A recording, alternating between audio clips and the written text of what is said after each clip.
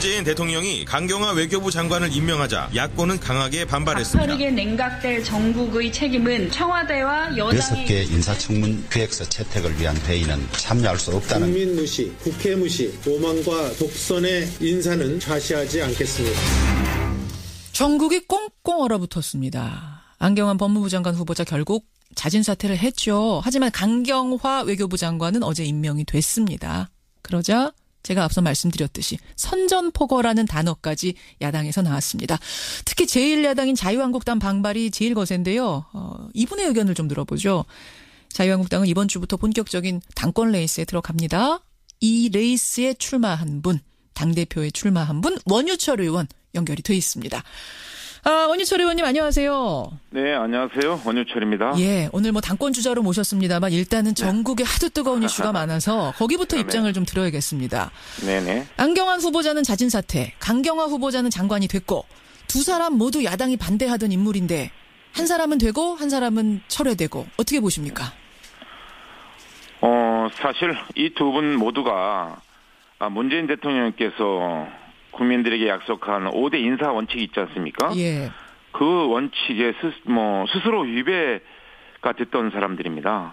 아, 좀 더 폭넓게 인재풀을 좀 활용했으면 하는 아쉬움을 가지고 있고요. 예. 뭐 안경환 후보자 사태는 당연한 일이죠.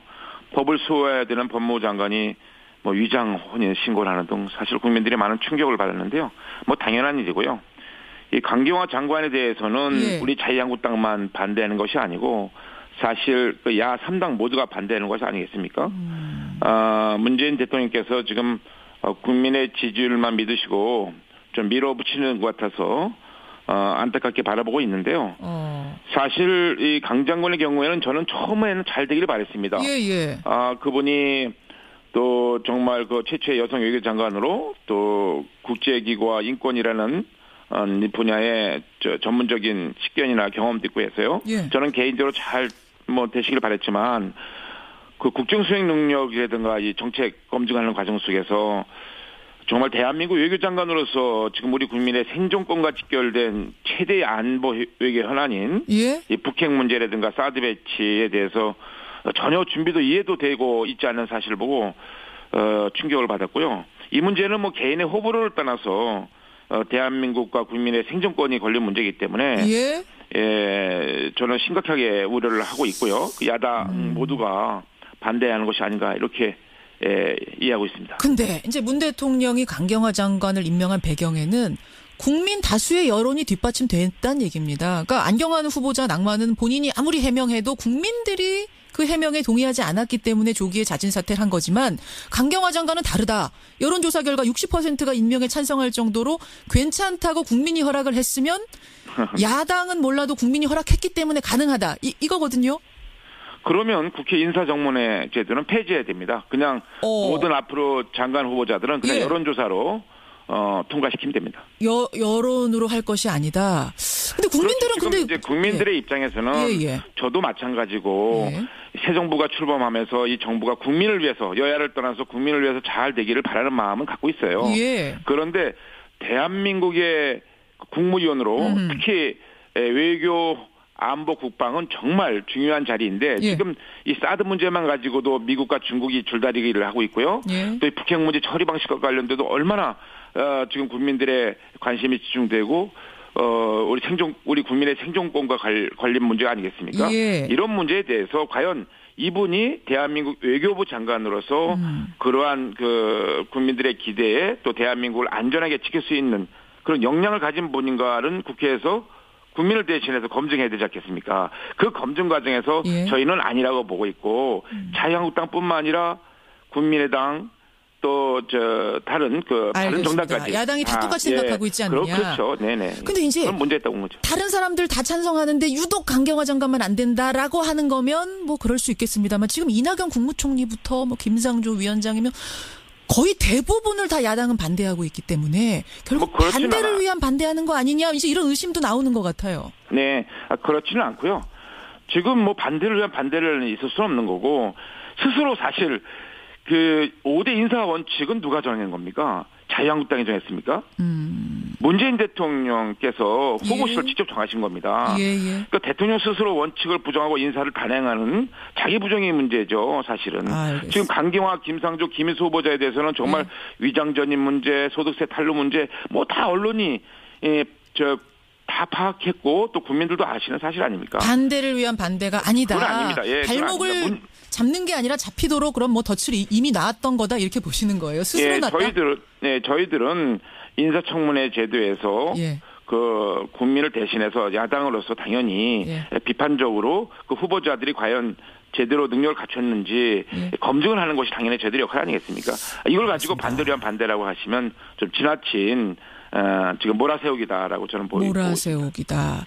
어, 그러면은 지금 지금 선전포고다라는 얘기까지 하셨는데 야, 당에서는 앞으로 어떻게 대응할 생각이세요? 뭐 장외 아, 오늘 투쟁이라든지 예, 오늘 보이콧이라든지. 이제 저희 한국당은 예. 의원총회를 열어서 예. 이 문제를 가지고 최종 입장을 정리할 겁니다. 네. 오늘 어떻게 해야 된다고 보세요? 개인적으로는 사실 장외 투쟁하기에는 지금 여론의 지지율이라는 게 받침이 돼야 장외 투쟁되는 건데 그건 좀 어렵겠죠. 지금 이 새 정부가 들어서 가장 중요한 것은 국회와 협치 아니겠습니까? 대통령께서도 스스로 소통과 협치를 하시겠다고 하는데 예. 이렇게 야 3당 모두가 반대하는 분을 예. 아, 국민의 지지로 밀어붙이시겠다고 하는 것은 예. 사실 이 불통과 아, 독치로 가는 것이 아닌가 싶어서 걱정이 되는 거고요. 저희 자유한국당뿐만 아니라 그 바른정당이나 국민의당이 예. 그냥 이유 없이 반대하는 것이 아닙니다. 다 그만한 이유가 있기 때문에. 아까 이제 설명은 하셨고 예, 예, 그럼 예. 어떻게 대응하실 건가 이 부분에서 예. 개인적으로는 어디까지 가야 된다고 보세요? 뭐 개인적으로 지금 말씀드리긴 곤란하고요. 오늘 저희가 10시에 의원총회가 열리는데 예. 이 문제를 가지고 어, 저희들이 깊게 토론하고 알겠습니다. 의견을 모을 생각입니다. 예, 자유한국당 원유철 의원 만나고 있습니다. 당내 이야기로 좀 넘어가 보죠, 원 의원님. 음, 네. 당대표 출마하셨어요. 최종적으로 세분 나오셨습니다. 원유철, 홍준표, 신상진. 일단 자신 있으십니까? 저는 이번 우리 자유한국당 전당대회에서요.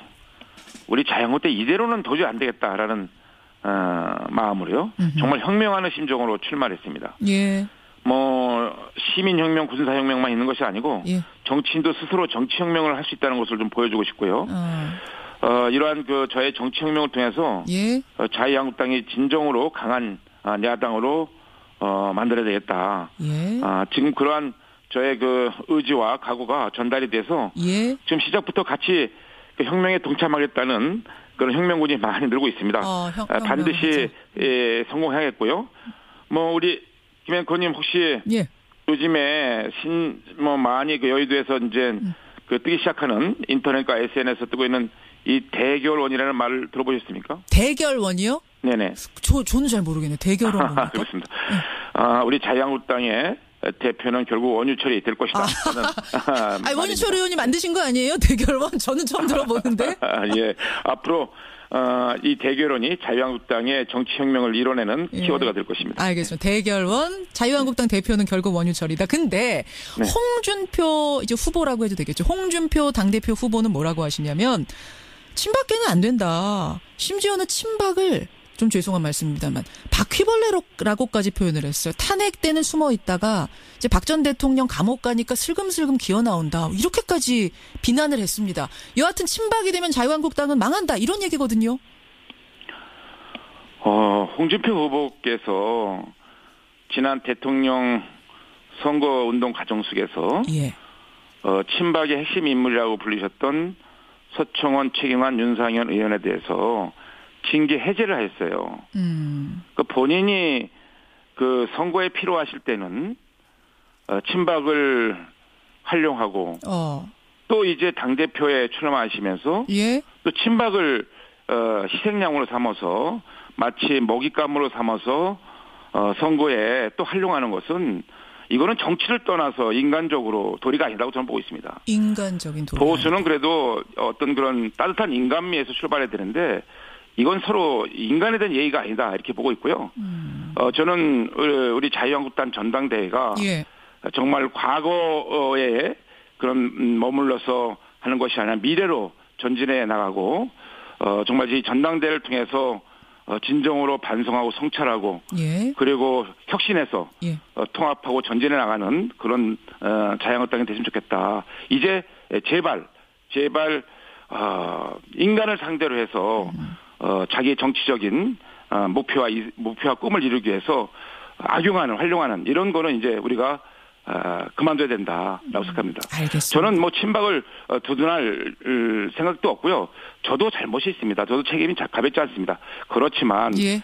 국민들이 보시기에 이제 자유한국당이 정신을 차리고 예. 오로지 국민들이 지금 어, 치열하게 삶의 현장에서 고생하시는 민생 문제를 해결하는 이제 생활 정치 정당으로 거듭나고 국민의 마음을 어, 민심의 나침판처럼 손에 꼭 쥐고 국민의 지지를 진, 진정으로 얻어 나가는 강한 정당이 돼야 된다고 저는 알겠습니다. 친박도 정신 차리고 혁명해야 된다 이런 말씀. 사실은 제1야당의 역할이 굉장히 중요하지 않습니까? 뭐 어느. 정권이든 네, 네. 거듭나야 된다 지금 강조를 하셨어요. 어, 오늘 여기까지 말씀 듣도록 하죠. 원유철 의원님 고맙습니다. 네, 감사합니다. 자유한국당의 당권 주자로 나섰습니다. 원유철 의원 만나봤습니다.